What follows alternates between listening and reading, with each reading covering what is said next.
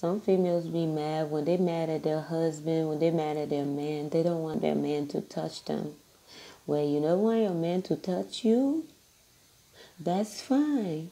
But lay down. Let his little mini me touch your little mini me. Okay? That shouldn't bother you. That shouldn't be a problem. Okay? Because your emotions, your mind, everything that's going all whack with your emotions and your man shouldn't have anything to do with your little mini me. Okay? Let the man come with his little mini me and empty his scrotum, okay? That's why you are his woman, okay?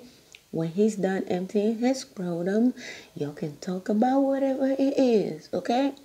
If you want to be mad for 40 days and 40 nights and stuff like that, be mad for 40 days and 40 nights. But your man cannot be walking around with a swollen scrotum, walking like he got bow leg, because you done made his stuff to get all backed up. And while you doing that, you expect him to be faithful to you. No, that's torture. That's abuse. That's abuse. Do you understand, man? That's abuse. You're abusing your husband. He's supposed to be able to empty that stuff.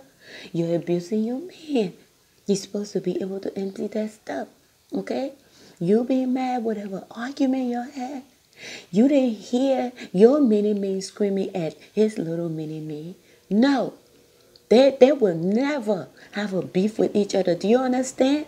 They will never, your mini me and his little mini me, it's not, they're, they're never going to have a beef with each other. When y'all hollering and fighting and all that stuff, do you see them throwing hands? Do you see them throwing shades? Do you see them talking? Do you see them hollering and cussing? They don't talk.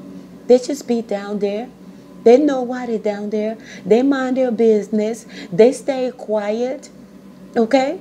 Calm and collected because they're only there for one thing and one thing only. So when y'all get mad at each other yeah the women always want to hold back. Uh-uh sister girl sister girl your emotions, your mind, whatever is going on in your mind and your emotions, ain't got nothing to do with that mini me down there. You let that mini me and his mini me, they need they need to continue to, to, to coexist with each other. They need to continue to touch each other and greet each other and, and, and get all cozy with each other, okay? They need to do what they do, okay?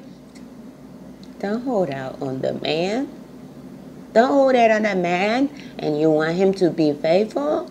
Okay.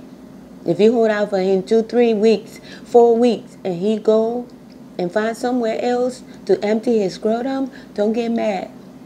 Don't get mad and call that cheating, okay? Because if you call that cheating, your little mini me is just, it might just start talking to you. Look, look, you need to leave him alone. You need to leave him alone because I was sitting here. You kept me hostage sitting here doing nothing. I've been wanting my little friend to come over here and satisfy me. But you all selfish, stuck in your emotions and your feelings. You deprived me of what I needed, okay? So he's not cheating.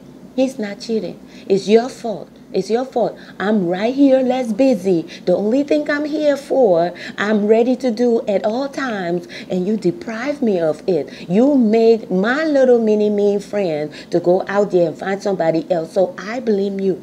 Okay? Okay? Your puna puna just might start talking to you.